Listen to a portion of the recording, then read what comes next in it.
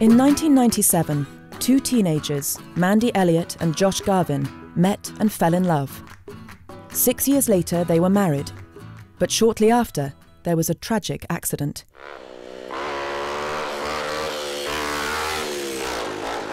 Josh was severely injured, and while he lay in a coma, Mandy took a momentous decision. Mandy didn't know if it were possible, she didn't know how it could be done, but she was determined to have a child with Josh. My journey started with Josh. I want my journey to begin again with Josh's child. Mandy's choice to extract Josh's sperm and inseminate herself later was unique and controversial because it was taken without Josh's consent. I think people like sperm. It's a very dynamic, happy cell, yes. Sperm are happy. And they, they make people smile.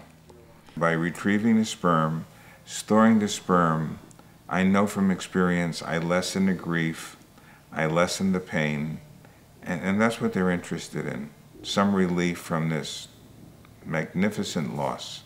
After two weeks of high dosage hormonal injections to induce the body to overproduce eggs, Mandy must undergo an operation under general anaesthetic in order for the doctors to retrieve those eggs.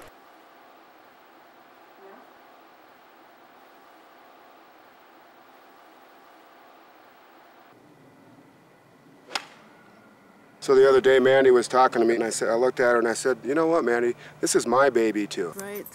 Right there. That's you a can sperm? see it. That's a sperm right Born there. in Josh's? Yeah, and it's got a little. You, it, it's not quite clear, but you can see there will be a little tail right behind there.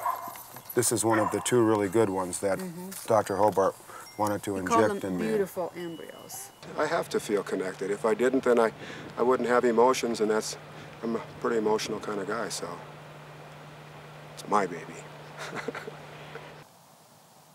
you know, Mandy and her family are still together. You know, yeah, Josh isn't there, but they're they're going to have a wonderful little child in their lives, and uh, I'll never have my son back.